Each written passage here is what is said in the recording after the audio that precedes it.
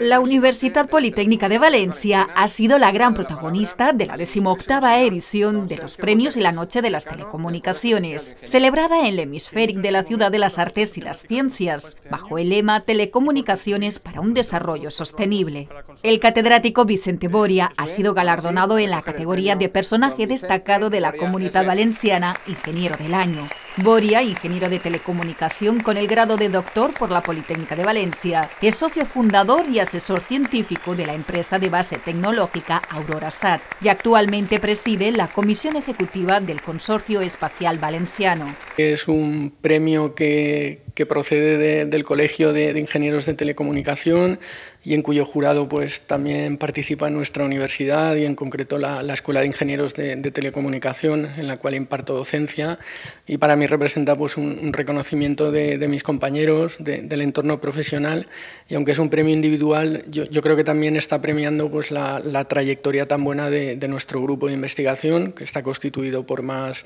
compañeros que, estamos adscritos al, al Instituto ITEA